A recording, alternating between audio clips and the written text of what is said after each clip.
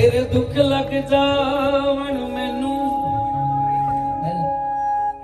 ਆ, ਸੋਚੀ ਸੀਟੀ ਬੋਲੀ। ਤੇਰੇ ਦੁੱਖ ਲੱਗ ਜਾਵਣ ਮੈਨੂੰ। ਮੈਂ ਸਜਣਾ।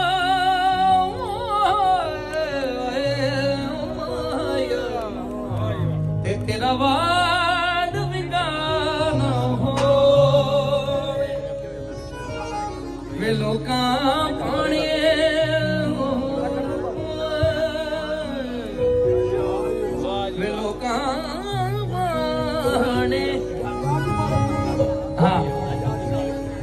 ਦਾ ਗਾਣਾ ਤਾਰੋ ਬੁਆ ਵੇ ਤੇਰੇ ਦੁੱਖ ਲੱਗ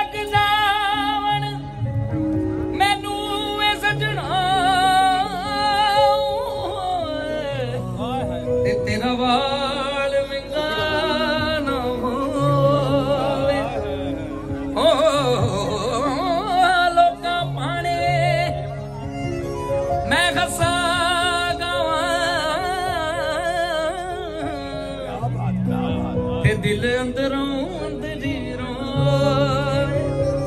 ਤਾਰਾ ਅੰਬਰਾਂ ਤੇ ਕੋਈ ਕੋਈ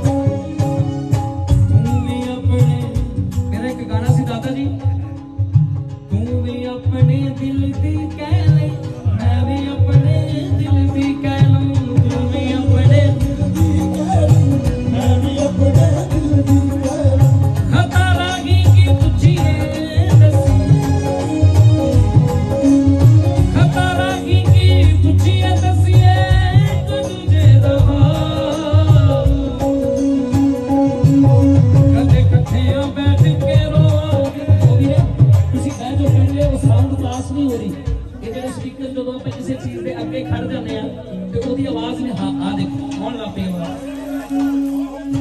ਮੈਨੂੰ ਸੌਂਗ ਦਾ ਵੀ ਬਹੁਤ ਜ਼ਿਆਦਾ ਹੀ ਪਤਾ। ਬਹਿ ਜਾਓ ਮੈਂ ਜਾਓ ਤੁਸੀਂ ਭੈਣ ਜੀ, ਬਹਿ ਜਾਓ। ਦਿੱਤਾ ਦਿੱਤਾ ਕਾ ਦਿਨਾ